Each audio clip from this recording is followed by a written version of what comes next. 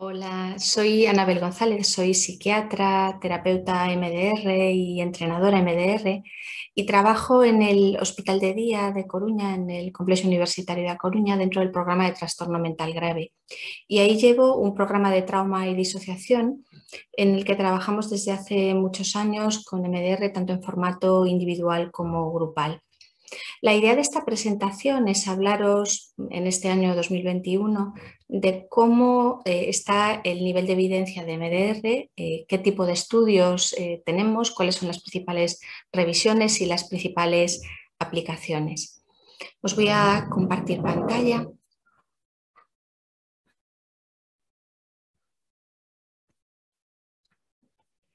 Quiero agradecer antes de empezar a, Lucía Martínez, que es una compañera de Huelva que me lió para prepararme todo esto eh, para una presentación que hicimos en el Colegio de Psicólogos de, allí, de, Huelva, de Andalucía.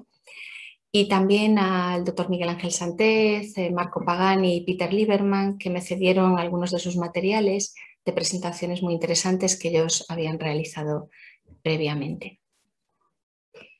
Algo que es importante para aquellos que no conozcáis o que no tengáis una información eh, en profundidad de lo que es MDR es que tengamos en cuenta que en el nombre viene EM, eh, que tiene que ver con los movimientos oculares, que sabéis que es un ingrediente activo que se utiliza para el procesamiento de recuerdos.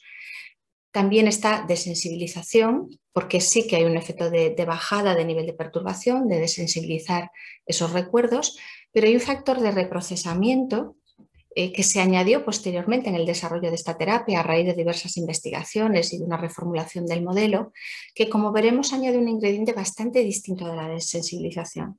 Esto creo que es interesante porque yo a veces cuando hablo con colegas hay una cierta confusión en el hecho de que MDR es un procedimiento de desensibilización añadiendo movimientos oculares y veremos que el procedimiento es muy, muy diferente. Y estamos viendo también algunos hallazgos interesantes, incluso en estudios en animales, que muestran diferencias entre esos dos procedimientos, que los dos son útiles y han demostrado una eficacia. Otro dato que también es importante que tengamos en cuenta es que MDR no es simplemente una técnica para trabajar con un recuerdo, sino que es un procedimiento que engloba una fase 1 en la que vamos a buscar realmente cuáles son las raíces del problema y esto es muy complejo. En un estrés postraumático puro vemos cómo todos los síntomas empiezan a raíz de un evento que el paciente recuerda perfectamente, pero otras veces las raíces del problema son diversas y múltiples. Y ahí no estamos hablando simplemente de trauma, estamos hablando en realidad de aprendizajes disfuncionales, de experiencias que no entrarían dentro de la categoría de traumas en las clasificaciones internacionales, pero que dejan mm, una huella, un efecto permanente y que ese efecto es contraproducente para que el individuo pueda vivir una vida con una calidad adecuada y con un funcionamiento adecuado. Y también hay esta segunda fase de preparación que en algunos pacientes pues, es compleja. No me voy a parar en esto. Si quiero explicar un poco qué es y qué no es MDR, porque también hay una serie de concepciones bastante erróneas sobre lo que es esta terapia por las personas que no están formadas en ella y que no la conocen no es simplemente mover los ojos o hacer esto que habéis visto por internet del abrazo de la mariposa con un ejercicio de meditación. Eso no tiene nada que ver con lo que es MDR. No es cualquier terapia en la que se muevan los ojos o ni siquiera cualquier terapia que utilice este nombre, sino sigue una serie de procedimientos estandarizados que se han ido estudiando y se han ido reformulando con el paso del tiempo en base a las investigaciones que ha habido. No es simplemente una exposición, como decía antes, con movimientos oculares y tampoco solo es una técnica para trabajar con un recuerdo concreto. Vamos a ver que estamos teniendo cada vez más evidencia en otras patologías. Eh, es un tratamiento orientado al trauma, está avalado por muchos estudios y está reconocido en las guías clínicas internacionales, luego detallaré un poquito más esto, y es un abordaje psicoterapéutico con una serie de procedimientos y protocolos variados y diversos. Y tampoco es un trabajo únicamente de, mirar todo el tiempo al pasado, lo que nos interesa cambiar es el presente y lo que nos interesa abrir es el futuro. Pero para ello hemos de ir a la raíz de esas experiencias. Tengamos cuidado cuando hablamos de evidencia empírica. Yo creo que a este nivel se está hablando mucho, se está hablando mucho de todo este concepto de las pseudociencias, que tiene una base perfectamente válida. Es cierto que se está llamando terapia a todo y se están proponiendo mm, cosas llamándoles tratamientos que realmente no tienen ningún fundamento. Em, pero en este discurso anti-pseudociencia a mí me da la sensación de ver unos tintes más ideológicos o más religiosos, casi, casi religiosos, que puramente científicos, porque los datos están ahí, yo os los voy a enseñar y luego los podemos debatir. También hay que reconocer que a veces dentro del propio campo de MDR, yo he escuchado a algunas personas hablar de esto como si fuese algo eh, mágico o algo eh, prodigioso. Bueno, es una terapia potente, yo me he animado a seguir trabajando con ella porque le veo resultados en mis pacientes, pero nada que ver con la magia, tiene que ver con datos y tiene que ver con resultados y tiene que ver con estudios. Y una de las cosas que a mí me gustaron cuando yo empecé con este método a, a trabajar con mis pacientes es que todo el tiempo la investigación iba reevaluando, reexaminando e incluso cambiando los procedimientos y me parece una terapia que está en constante revisión por este motivo y, me parece muy interesante. Tenemos publicaciones, ¿no? Hay dos o tres, hay un montón de publicaciones. En el año 2018, a finales del 2018, dentro de la Asociación MDR España, eh, tuve el placer de trabajar en este dossier que llevaron a cabo sobre todo la gente del equipo del doctor Benedict Amán, que es un investigador eh, que ha hecho un montón de trabajos interesantes sobre MDR, uno de los principales investigadores de, Europa y yo creo que del mundo en este tema, que tenemos la suerte de tener aquí en, España. Y participó también eh, el doctor Miguel Ángel Sánchez de la UNED, que es el, que dirige el máster de MDR en la UNED, y yo. Eh, aquí tenéis eh, el listado que podéis ver en ese dossier. Ese dossier lo podéis encontrar en la página de la Asociación MDR España. Lo tengo también en mi página web, el link, y lo podéis mirar ahí. Así que yo no me voy a parar en ello. Simplemente que veamos que hay un montón de estudios. Aquí solamente son estudios randomizados controlados en trastorno de estrés postraumático que puede ser comórbido a muchas patologías. Ya veis que son bastantes. Y después también tenemos eh, estudios más allá del trastorno de estrés postraumático en otras patologías. Ya no se trata de personas que además de estrés postraumático tienen, por ejemplo, un cuadro depresivo, sino el tratamiento en la propia depresión o el tratamiento en dolor, por ejemplo. Veis que también hay aquí bastantes cosas. En trastorno mental grave me parece un área muy interesante. Y después ya había en esta época bastantes revisiones sistemáticas y metaanálisis mostrando en general niveles de evidencia importantes, sobre todo en adultos y sobre todo en estrés postraumático, que es lo que tiene niveles de evidencia mayores. Con una eficacia comparativa entre terapia cognitivo-conductual y MDR en muchos casos, en algunos casos con alguna diferencia, pero en general eh, un, efecto interesante. ¿no? Veis que hay alguna, un efecto un poco inferior en, veteranos de guerra, que esto bueno, mm, eh, se discute un poco cuáles pueden ser los motivos, porque no en todos los estudios sale de la misma manera, pero en general en casi todos efectos comparables y en algún caso eh, superiores. Me lo voy a saltar también, como digo, lo tenéis todo en el, en el dossier. Entonces, ¿Todos estos artículos son favorables a un efecto positivo? La mayoría sí. Hay alguno con resultados no concluyentes negativos, pero la inmensísima mayoría de todos estos estudios sí. No necesitamos nunca en ciencia, ¿verdad? Que el 100% de los estudios estén a favor de algo para decir que funciona. Es el volumen de estudios y el conjunto de estudios. Por eso se hacen metaanálisis y revisiones sistemáticas. Eh, en estos metaanálisis en general los resultados son favorables y eh, se va valorando este conjunto de evidencia. ¿Vamos a terminar de estudiar esto? No, en ciencia nunca se termina de estudiar absolutamente nada. Siempre estamos en un desarrollo permanente.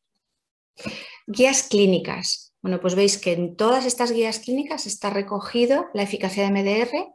La única que hace una mm, mención de cautela es la de la Asociación Psicológica Americana, el resto, todos están reconociendo MDR con distintos niveles, pero como una terapia eh, eficaz. A mí me llama mucho la atención, a veces cuando debato con, compañeros, que eh, el resto de guías internacionales, que como veis hay aquí un montón, eh, para rebatir que MDR funciona no cuentan y parece que solo cuenta la americana, a la que nunca le hacemos caso para nada, salvo para esto. Luego veréis un poco por qué puede ser esta discrepancia de la guía americana. No me voy a parar mucho en esto. ¿eh? La OMS en 2013 ya reconocía MDR para adultos como una fuerza de recomendación estándar y eh, para niños no tanto. Esto es en general lo que vamos viendo en los estudios. La evidencia en niños va por detrás, aunque ya está empezando a ser importante respecto a la evidencia en adultos por número de estudios, por volumen de estudios. En la NICE, eh, también estamos hablando de 2018, veíamos eh, también un reconocimiento de MDR después de tres meses. No está, no está tan claro, aunque en otras guías sí está recogido para intervención aguda. Desde luego, a partir de tres meses sí, Aquí también para pacientes adultos, esta es la, eh, guía APA que habla de una aprobación condicional. Dice que necesitamos más evidencia. En el mismo lugar están la terapia breve ecléctica y la terapia de exposición narrativa. Esta, que es una asociación eh, de, niños de psiquiatría infantil, infanto-juvenil, lo recogen como un nivel 2, o sea que MDR en, base a esta guía funciona. La ISTSS, que es la Sociedad Internacional para el Estudio de Estrés Traumáticos, le da una evidencia fuerte, al mismo nivel que terapia cognitivo-conductual en niños y adolescentes, por encima de tres meses, por debajo de tres meses no tan clara, y en adultos, en el tratamiento del TEP, que es el punto 3, una evidencia fuerte, y empieza a darle evidencia también a las intervenciones tempranas por lo menos emergente cuando es una única sesión y si son varias sesiones ya le empieza a dar una evidencia estándar, o sea que empezamos a tener eh, evidencia de intervención aguda, que veréis que hay un montón de estudios también. La guía australiana, que es una de las últimas en salir, empezaba a recoger también una evidencia de MDR en el tratamiento de la depresión y empezaba a darle también un poquito más de peso en niños y adolescentes. ¿A qué se deben estas divergencias en las guías clínicas? Las guías clínicas, como sabéis, son consensos de expertos, que son personas que son las que más saben en un área determinada, en una asociación o en, eh, un país sobre un tema y que revisan qué estudios hay, a cuáles le damos valor y a cuáles no. Y en esto nunca estamos 100% de acuerdo porque a veces los criterios son ligeramente diferentes. Las tres principales serían la APA, que es la que daba esta Mm, reconocimiento con condiciones, la NICE, que es de eh, Gran Bretaña, y la ISTSS, que es de la, la, sociedad más especializada internacional en estudios de estrés traumático. La recomendación en las tres es ligeramente diferente. La ISTSS es la que le da un reconocimiento mayor, tanto en niños como en, adultos. La NICE le da reconocimiento en adultos claramente por, encima de tres meses y por debajo mm, con ciertas dudas. Y la APA no analiza la intervención temprana y no analiza la intervención en niños y eh, la, recomendación que da para MDR es condicional. También está aquí esta, eh, digamos, excepción del trauma bélico que luego, que luego veremos. Bueno, una de las razones que se exponían en el último Congreso Europeo de MDR eh, por Christopher Lee era esta. ¿Cuándo se recoge la evidencia? ¿En qué momento, a partir de qué base de datos de estudios, se analiza esta evidencia? Entonces lo que vemos es que la que mm, está revisando una evidencia más obsoleta es la APA. Y esto tiene bastante sentido porque está analizando evidencia de 2012 en esta base de datos de ANCEP y la versión mm, inicial de esta base de datos. En cambio, las, la NICE y la guía de la ISTSS revisan datos muy posteriores. Claro, del 2012 al 2018 se han publicado muchísimos estudios y estudios pues, cada vez de mayor calidad. Esta es una de las explicaciones. Y otra de las razones es que no se analizaban exactamente el mismo tipo de pacientes. En la APA se exigía un 100% de, cumplimiento de criterios de TEP, la NICE y la ISTSS eran un poquito más laxas, es decir, eh, valían con pacientes que tuviesen síntomas de TEP aunque no llegasen totalmente a cumplir criterios en el 100% de los casos. Eh, ¿Cuál es la opción buena? Bueno, lo cierto es que la ANCEP, que es la base de datos que inicialmente usó la APA, en sus últimas versiones ya no sigue el criterio que seguía la APA. Es decir, las versiones modernas y por las bases de datos en las que se van a basar las revisiones posteriores incluyen pacientes con niveles de, diagnóstico un poquito más bajos. O sea, todos dentro del mismo rango, pero que no en el 100% de los casos tengan que cumplir criterios completos. Claro, si no metemos a, diagnósticos en los cuales los pacientes tienen síntomas postraumáticos, aunque no lleguen en el 100% de los casos a cumplir criterios, se excluyen, por ejemplo, estos estudios, que son estudios muy importantes, en los que se analiza el efecto de MDR en mujeres supervivientes de abuso sexual, en víctimas de maltrato o en personas que pidieron ayuda por recuerdos traumáticos, pero que a lo mejor no tenían todos ellos un cuadro clínico de TEP. Sabemos que en algún tipo de traumas o en alguna historia de trauma, por ejemplo, en la infancia, la sintomatología de TEP no se desarrolla de una forma tan nítida, pero excluir a estos pacientes no tiene demasiado sentido. Bueno, esto es lo que decían las guías clínicas y todas ellas, como veis, la más tardía es de 2018, estamos en 2021, en ciencia en tres años se puede publicar un mundo de cosas, ha habido publicaciones posteriores, vamos a revisarlas un poquito. Eh, no todas ellas, porque veis que hay unos cuantos artículos relevantes eh, sobre MDR en estos últimos años, unos cuantos más, unos cuantos más. Así que os voy a contar un poquito de algunos de ellos.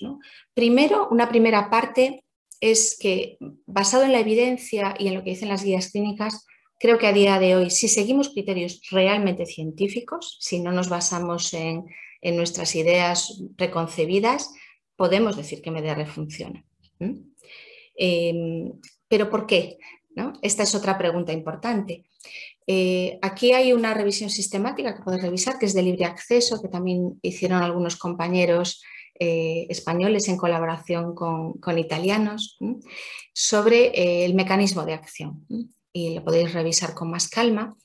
Pero lo cierto es que todavía se debate el mecanismo de acción de la terapia de exposición. Solo os dejo aquí varias hipótesis recogidas de algunos textos. No es mi mayor campo de especialidad, ni pretendo meterme en esta en esta historia, pero el hecho de que en MDR todavía no sepamos exactamente cuál es eh, el mecanismo de acción, veréis que sabemos muchas cosas ya, eh, tampoco implica que eso cuestione la eficacia. La eficacia es una cosa y otra cosa es por qué tiene esa eficacia. Entonces, hay algunas hipótesis que están basadas en modelos psicológicos. La más extendida es la hipótesis, el modelo de la memoria de trabajo.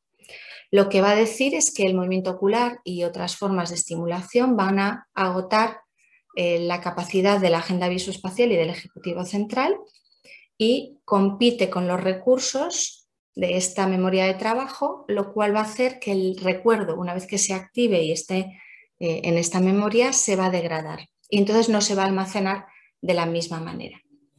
Así la persona se va como distanciando del recuerdo traumático. También se plantea si, cuál es el ingrediente activo. ¿no? Es el movimiento ocular, produce un efecto, pero em, eh, ¿cuál es el mecanismo? También se habla de la atención dual, de que el hecho de atender a, una, a un aspecto y a otro, la atención dual propiamente se refiere a estar aquí atendiendo al recuerdo. Pero también vamos a ver estudios que hablan de una atención dual a diversos estímulos. En cierto modo, atender al recuerdo y atender al movimiento ocular significa que yo tengo que tener como una especie de atención dividida. Y esto podría ser lo que produce el efecto, porque se han visto ciertos efectos en los recuerdos también con otras tareas que implican lo mismo, como recuento inverso o jugar al Tetris. Algo que se ha replicado mucho y que se ha visto en muchos, muchos estudios es que hay una activación del sistema nervioso parasimpático. Y desde ahí se propuso inicialmente que, había, que habrían cambios fisiológicos similares a los que se producen durante una de las fases del sueño, hipotetizando que al haber movimientos oculares como los que ocurren espontáneamente en la fase de REM, de movimientos oculares rápidos durante el sueño, esto tendría que ver con el efecto de MDR. Sin embargo, una cosa muy interesante que hay en ciencia es que a veces los estudios nos contradicen. Y fijaos, lo que los estudios vinieron a decir cuando se analizó con electroencefalograma cuantitativo, qué era lo que pasaba durante el movimiento ocular, lo que se vio era una actividad similar no a la del sueño REM, que sería muy parecida al estado de vigilia, sino eh, muy similar al sueño no REM, a la fase de sueño profundo. Eh, en las dos fases del sueño se van a producir procesos relacionados con la memoria, con el almacenamiento de los recuerdos emocionales, con la consolidación de la información. Entonces, de algún modo, el movimiento ocular, según los resultados de este estudio, se plantean los autores que lo que haría sería activar unos de estos procesos y al parar se activaría como lo que ocurre en la otra fase del sueño.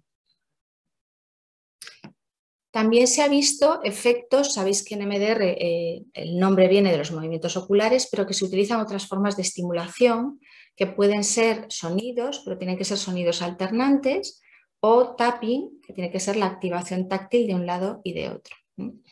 Aquí se vio que la estimulación táctil disminuía la reactividad a escenas negativas y también que incrementaba la activación positiva. Esto eh, se utiliza en MDR en lo que es la instalación de recursos y una serie de procedimientos que lo que van a hacer no es trabajar sobre el recuerdo traumático, sino sobre memorias de tonalidad positiva.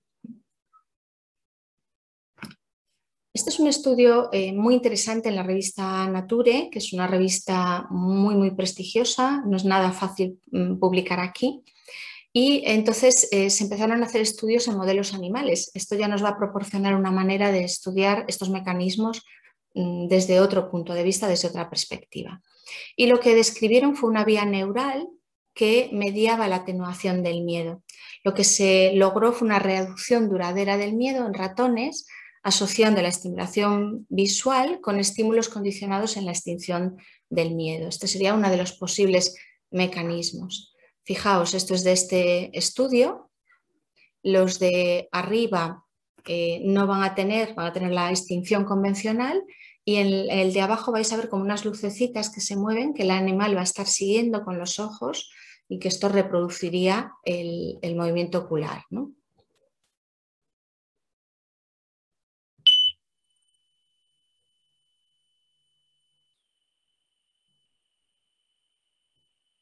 Fijaos que el animal de arriba se queda como congelado.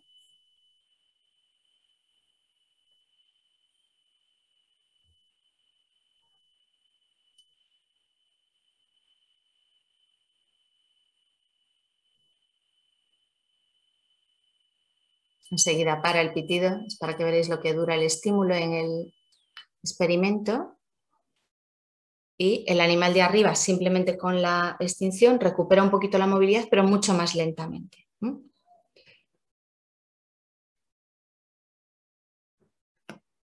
También se vio eh, una facilitación del acceso a la emoción en un estudio con resonancia magnética y se vio un incremento de la activación de la amígdala derecha y disminución del córtex prefrontal dorsolateral izquierdo. Y se vio que había como un incremento del procesamiento límbico y una disminución de la activación prefrontal. Esto que parece un poco lioso lo vemos en clínica. En clínica vemos que la estimulación bilateral favorece en algunos pacientes que tienen más nivel de desconexión emocional unos niveles mayores de conexión y nos da también una vía terapéutica interesante que va más allá del procesamiento de recuerdos. También se vio que los movimientos de seguimiento eran efectivos en reducir el condicionamiento del miedo Aquí se crearon memorias de miedo mostrando insectos como, como este y se vio eh, que las respuestas condicionadas de la memoria de miedo, eh, cuando se reactivaba en, unos, en, un momento concreto, no, no cuando ocurría en cualquier momento, fueron menores cuando se utilizaba el movimiento ocular. Un estudio también muy interesante. Este es en humanos, ya no es en roedores como el anterior que eso estaba mostrando. Este también es otro modelo animal de condicionamiento del miedo. Se vio que los movimientos oculares, aquí no se utilizaban lucecitas, Porque podríamos pensar, oye, a lo mejor es que va siguiendo las lucecitas y haces que se mueve y no tiene que ver con el movimiento del ojo. Aquí se hizo estimulación eléctrica bilateral en los párpados directamente para imitar los movimientos oculares y se vio que hacer esto durante la extinción del miedo acortaba la recuperación de las respuestas de miedo condicionadas.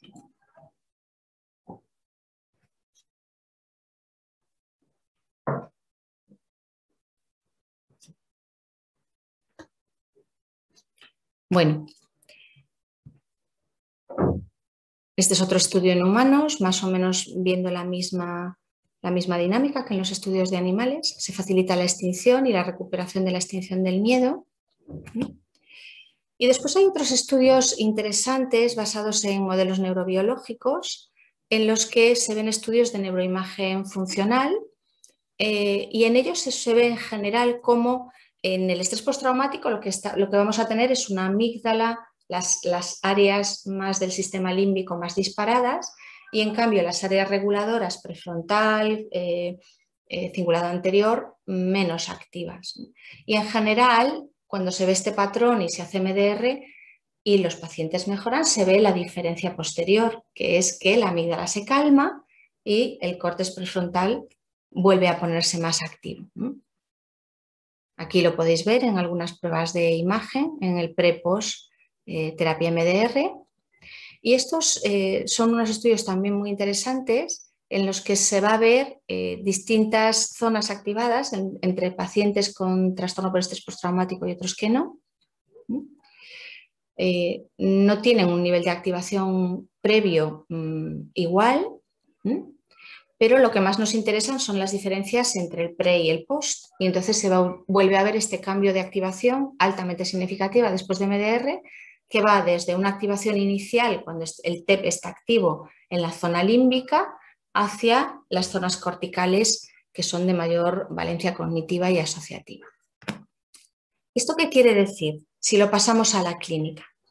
Eh, que se van a activar más las áreas asociativas. Y Marco Pagani, luego lo voy a comentar, decía que esto podría ser un marcador diferencial de eh, lo que ocurre a nivel neurobiológico con MDR frente a otros estudios que también los hay a nivel neurobiológico con otras orientaciones. Para los que no sois de MDR, pensemos en las diferencias entre la terapia de exposición y la terapia MDR, porque lo que hemos visto aquí en los estudios de laboratorio con animales no sería un procedimiento MDR, sería simplemente una desensibilización puntual y un análisis muy limitado del efecto del movimiento ocular. Pero en una sesión de MDR estamos trabajando una hora, generalmente, con un recuerdo y lo que es el componente de desensibilización es una parte muy pequeñita. Como veis en el ejemplo de la izquierda, en la exposición nosotros vamos a procurar que la atención del sujeto esté dirigida al recuerdo la mayor parte del tiempo, porque lo que queremos que se produzca es un fenómeno de habituación, por el cual el recuerdo, en vez de producir malestar, cada vez va produciendo menos, menos, menos, menos. Nos vamos habituando a esas sensaciones y dejan de ser perturbadoras. ¿Qué es lo que vamos a hacer en MDR? Bueno, pues vamos a partir de una memoria, que la tenemos aquí, pero una vez que el paciente, y esto puede ocurrir en cinco minutos, de hecho, cuanto más corto para nosotros mejor, nos diga la imagen que representa la peor parte, las creencias negativas y, lo que le gustaría cambiar en esas creencias, las emociones y las sensaciones, y no le vamos a pedir que nos los describa, que nos lo explique, no, cuanto más corto, mejor. Solamente nos dice esos elementos, medimos un par de cosas y empezamos a hacer los movimientos oculares. Y después de los movimientos oculares le vamos a decir a la persona que nos diga lo que le venga a la mente, más movimientos oculares, lo que le venga a la mente y así vamos a hacer un canal asociativo hasta que lo que viene a la mente ya no es perturbador y entonces volvemos al recuerdo. Y iniciamos otro canal, termina ese canal, volvemos al recuerdo e iniciamos otro. ¿Cuántas veces volvemos al recuerdo? ¿Cuánto tiempo de la sesión estamos en contacto con el recuerdo? En muchísimos casos, muy poquito tiempo. En cambio, en la terapia de exposición, la cantidad de tiempo que vamos a pasar en contacto con el recuerdo es intencionadamente alta, porque es ese contacto con el recuerdo mantenido lo que va a producir la respuesta de habituación. Yo creo que queda muy claro que lo que estamos haciendo en la sesión es tremendamente diferente.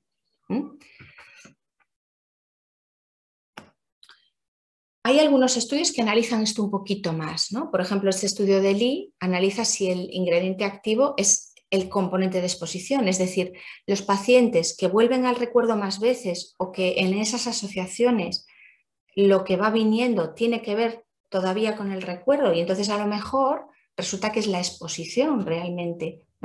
En ese caso, los que tienen más tiempo de exposición deberían mejorar más. Lo que se vio es que no es así, no en las sesiones de MDR. Lo que tenía más que ver con el efecto es la cantidad de tiempo que el paciente podía estar en lo que nosotros llamamos atención dual, es decir, conectado con el recuerdo, pero a la vez en el aquí y ahora, en el presente. Y este estudio de Rogers también explica algo parecido, eh, que son diferencias entre la exposición y, la terapia MDR, que es un efecto, una curva de efecto diferente. En la exposición se produce una bajada de perturbación, pero es más gradual. En MDR la bajada es más marcada, lo cual indica que el mecanismo tampoco va a ser el mismo. Esto es lo que os comentaba de Pagani y encaja perfectamente con este esquema que os ponía de lo que ocurre en la exposición y lo que ocurre en MDR. Eh, aquí lo que se veía era la activación de un área multiasociativa cortical. ¿Qué quiere decir? Es un área que está relacionada con un montón de asociaciones.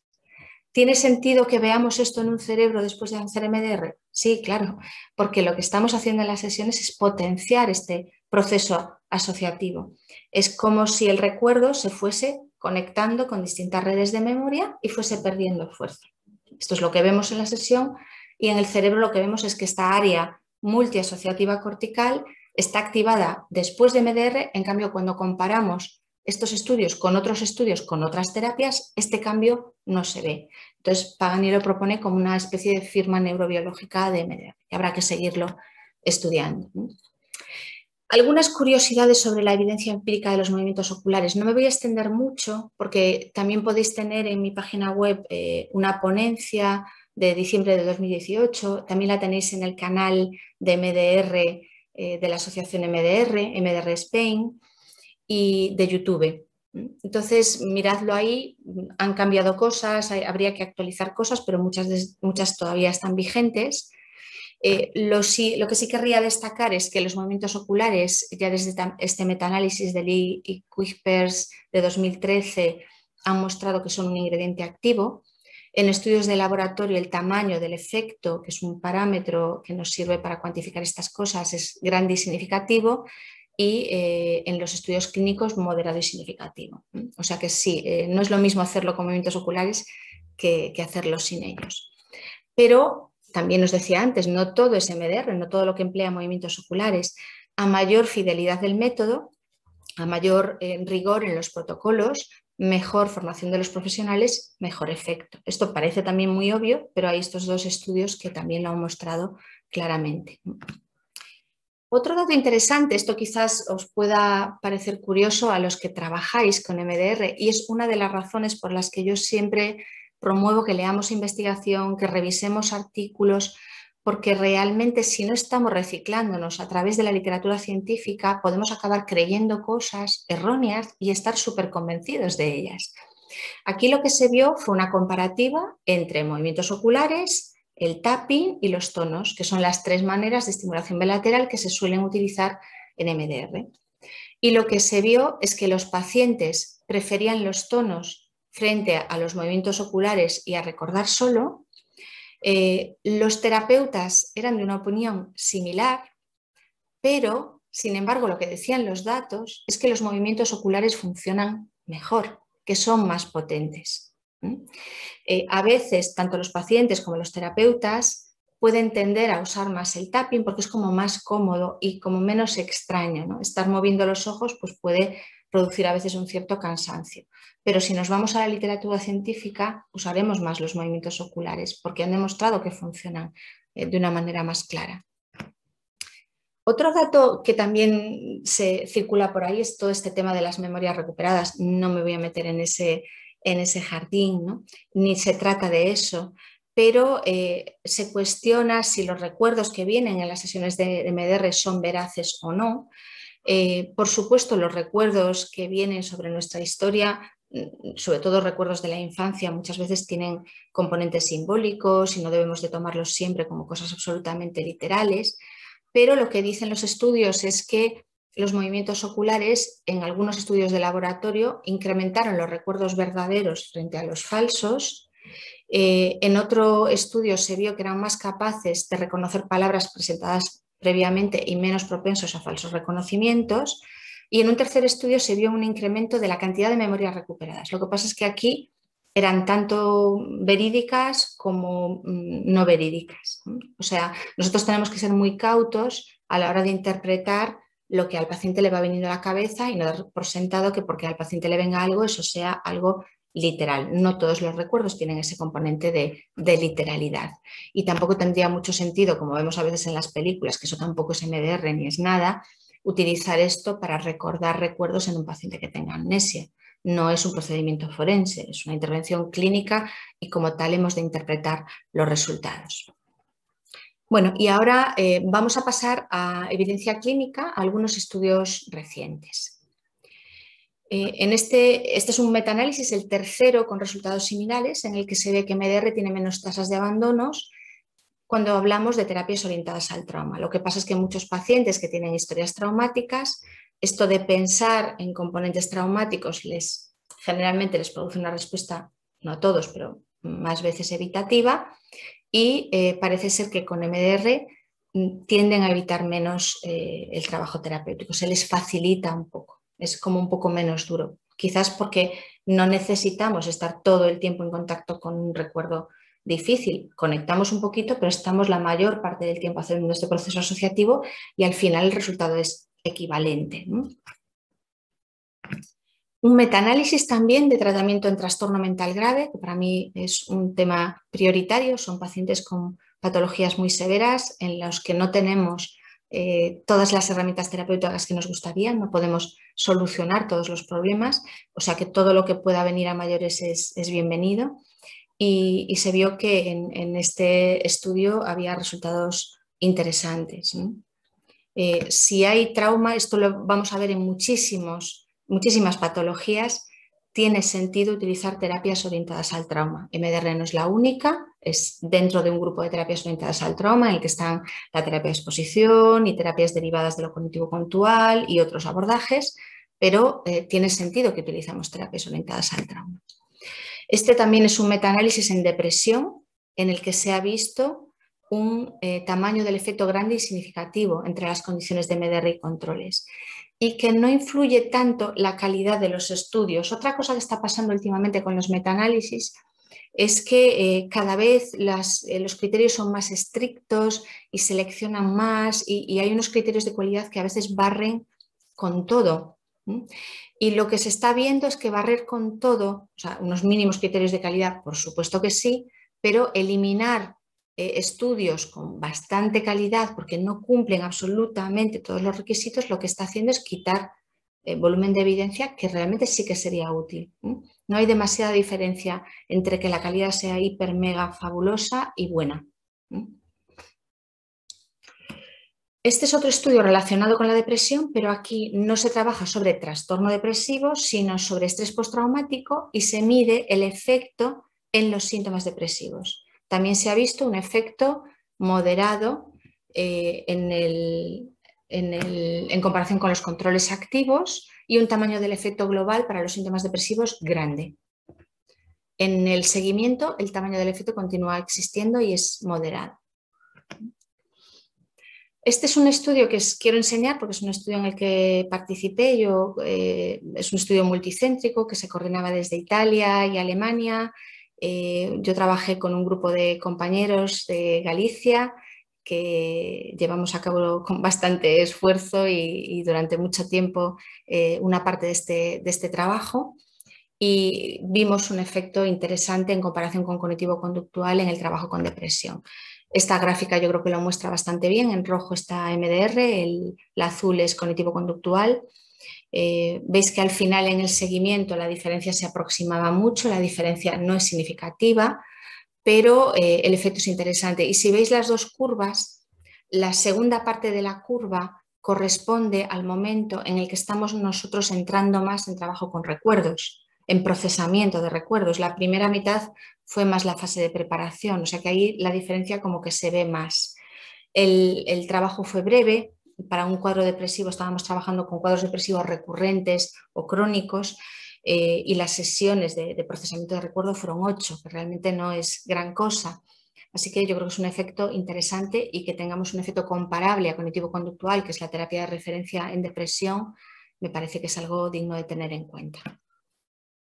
También ah, aquí podéis ver un metaanálisis de intervenciones en refugiados y solicitantes de asilo, en el que se dice que tanto la terapia cognitivo-conductual como MDR son los abordajes más eficaces y que tendrían que estar disponibles de rutina en este tipo de poblaciones. Esto es un poco lo mismo. Y tampoco puedo dejar de, comentaros este trabajo en el que participó un grupo de compañeros de la Asociación MDR de Valencia, liderados por Rosa Molero y con la inestimable ayuda del doctor Ignacio Jarero, que es una de las personas que más han investigado sobre el trabajo de MDR en grupos, que veréis que hay un montón de, estudios. Y fue un trabajo muy bonito, muy interesante que, nuestra compañera Mila Moleros puso este año en el Congreso Europeo de MDR y en el que se vio pues, un procedimiento que creemos que es exportable a muchas instituciones, organizaciones y asociaciones que están trabajando con poblaciones de altos niveles de traumatización porque ahí poder tener un procedimiento que se puede implementar en, poco tiempo y de una manera intensiva y que produce cambios clínicos significativos en comparación con el grupo control, mm, es muy interesante. A lo mejor podríamos tener un efecto, una repercusión en estas poblaciones si esto se pudiese generalizar. Para mí que este tipo de actividades no se limiten a una intervención, sino que se hagan con un procedimiento riguroso y que se puedan evaluar y que se puedan publicar y que las podamos mostrar eh, es muy interesante. Yo creo que es así como tenemos que, intentar trabajar en, psicoterapia, con todas las dificultades que puede suponer el estudio de, eficacia en psicoterapia. Yo creo que este es un trabajo que, es importante que hagamos. Eh, estos son resultados de este estudio en el que se veían el efecto. Fueron nueve sesiones de tratamiento grupal repartidas en tres días, tres sesiones cada día.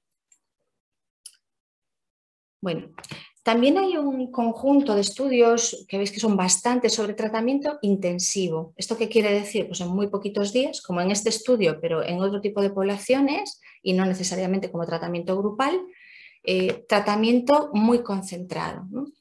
Y en ocasiones con tratamientos combinados, porque MDR puede ser aplicado como una psicoterapia en sí misma, puede ser aplicado dentro de un procedimiento que incluya otros tipos de, abordajes. Aquí se combinó eh, exposición progresiva y eh, MDR para eh, estrés postraumático y se vio que más de la mitad de los pacientes dejaron de cumplir criterios de estrés postraumático en ocho días de tratamiento.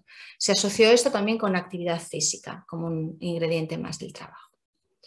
Y este es otro estudio similar mm, de tratamiento intensivo en pacientes con síntomas de TLP, que em, bueno, mm, es muy interesante porque en ocasiones pues estos pacientes eh, ingresan en los hospitales, el tratamiento que se puede hacer ahí es de contención, de ajuste, de, intentar eh, recolocar un poco el sistema familiar, pero si tenemos una intervención intensiva que se puede hacer, por ejemplo, en contexto hospitalario, de hospital de día o en determinados lugares, pues también sería algo realmente em, con mucha, mucho beneficio a nivel de costo y efectividad y, bueno, y una opción yo creo que muy, muy interesante. este es otro estudio en adolescentes en el que se vio, se intentó analizar el estudio en conductas externalizantes. Aquí, por ejemplo, el efecto fue más claro en síntomas postraumáticos, en conductas externalizantes no lo fue, no lo fue tanto. Y eh, en, en, adicciones vamos a ver un grupo de estudios con resultados interesantes, pero complejos de analizar. Yo creo que esta es un área en la que sí que faltan eh, muchas investigaciones. Entonces, se vio un cierto efecto en el craving, en el deseo de consumir y en la rumiación, pero no un efecto adicional en el consumo. Y esto, bueno, mm, sería para comentar largo y tendido. El efecto en el craving tiene que ver con procedimientos muy específicos orientados al craving que influyen en esto, pero a largo plazo necesitan de mucha repetición para que puedan producir un efecto mantenido. Y eh, también sabemos que cuando estamos trabajando con pacientes que se regulan a través de sustancias, si nosotros estamos trabajando cuestiones de alto contenido emocional, eh, no siempre en las primeras etapas, hasta que el tratamiento avanza un poquito, eh, esto va a tener una influencia positiva en el consumo. Eh, por eso, siempre que trabajemos con MDR, lo tenemos que hacer en el contexto de un tratamiento global orientado al, uso de sustancias. Aquí sí se vio que dentro de un tratamiento como un tratamiento complementario eh, se vio una mejora en los síntomas postraumáticos, también disociativos y en la psicopatología general. Formato grupal. Yo creo que esto es un área de intervención muy interesante que nos permite trabajar con muchos pacientes eh, a la vez. Eh, nosotros en el, programa de trauma utilizamos intervención grupal porque en, el sistema público todo lo que pueda producirnos una mayor efectividad eh, es muy importante porque tenemos siempre unos recursos muy limitados y se ha visto que los protocolos grupales pueden ser una herramienta efectiva en muchas patologías, incluyendo trastorno de estrés postraumático, depresión, ansiedad y muchas otras aplicaciones. Esto cada vez está generalizando más. Y eh, este es un estudio nuestro dentro del programa de trauma y del grupo de pacientes de trauma complejo, que es una población bueno, bastante particular, pacientes con un nivel de complejidad más alto, pero vimos que había una cierta diferencia cuando utilizábamos procedimientos eh, incluyendo estimulación bilateral, procedimientos de MDR o cuando hacíamos solamente el trabajo psicoeducativo general. Niños y adolescentes. Bueno, como veíamos, la indicación en adultos está mucho más clara, en niños y adolescentes está en desarrollo, pero estamos viendo una eficacia de MDR comparable a terapia cognitivo-conductual en reducir el estrés postraumático, la ansiedad y la depresión y tiende a haber una mayor efectividad en periodo más corto de tiempo. Pero estos son resultados todavía preliminares, aquí nos falta todavía mucho que investigar. Y eh, en otras patologías eh, se está utilizando MDR, no porque MDR lo solucione todo, como veíamos en adicciones, como no integremos el trabajo con MDR en un abordaje más, global, solo MDR no va a conseguir eh, una mejoría de estos pacientes. Si trabajamos con pacientes psicóticos vamos a tener que combinar abordajes farmacológicos y muchos abordajes psicosociales con el trabajo que podemos hacer con MDR. Pero lo cierto es que el trauma es un elemento transdiagnóstico entonces hay muchos pacientes en los que nosotros vamos a poder aplicar MDR, aunque no tengan un trastorno por estrés postraumático comórbido, porque sí que tienen síntomas postraumáticos y sí que vamos a ver que algunas de las cosas que les suceden se derivan de, esos antecedentes traumáticos. Este libro de la derecha es un libro que yo he publicado recientemente más a nivel de divulgación en el que se explican muchos ejemplos de aplicaciones clínicas eh, con las que yo he trabajado, por supuesto cambiando datos para preservar la intimidad de los pacientes y un poco lo que es el modelo a nivel global, qué cosas tenemos que tener en cuenta. Pues, por ejemplo, se trabaja mucho con autocuidado, se trabaja mucho con regulación emocional, se trabaja mucho con el tema de apego, no, es simplemente los elementos traumáticos. Y aquí eh, tenéis dos libros de la persona que desarrolló el método, que es Francine Sapiro, el de Supera tu pasado es un libro más divulgativo, pero bueno, si no tenéis interés de profundizar en la herramienta mm, como terapeutas o trabajar con ella, puede ser suficiente para entender un poquito cómo es el modelo. Y el libro de la izquierda, que es digamos la referencia eh, básica, la tercera edición del, manual de, de MDR, por si lo queréis revisar un poquito más en profundidad. Si os interesa formaros en esta orientación, podéis consultar la Asociación Española de MDR. La web es eh, www.mdr-es.org. Si queréis más recursos sobre trauma, información sobre MDR, evidencia empírica, en mi web también tengo colocadas unas cuantas cosas, en abelgonzalez.es. Y eh, podéis también seguir algunas de las presentaciones que yo hago, que las tengo en, en esta página de Instagram, en Anabel González Emociones 5.0. Y esto es una revisión rápida de, todo esto. Hay muchísimas más cosas que decir, por supuesto, y, muchos temas que están abiertos a más investigación y a más estudios, pero yo creo que a día de hoy podemos decir con, datos en la mano que MDR funciona, que tenemos muchas claves ya de mm, cuál es el mecanismo eh, que hace que funcione.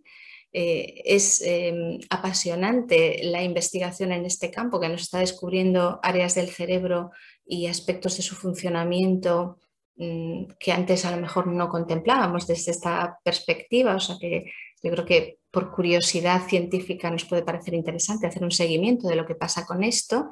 Y los que trabajáis con MDR, yo creo que toda esta retroalimentación con la investigación, yo con los alumnos del máster, eh, los que me conocen saben que soy muy insistente con esto de revisar la evidencia, leernos los artículos que se publican recientemente, porque necesitamos revisar lo que hacemos a la luz de lo que va ocurriendo y ver y explicar para qué tenemos una indicación clara y para qué otros aspectos todavía no la tenemos.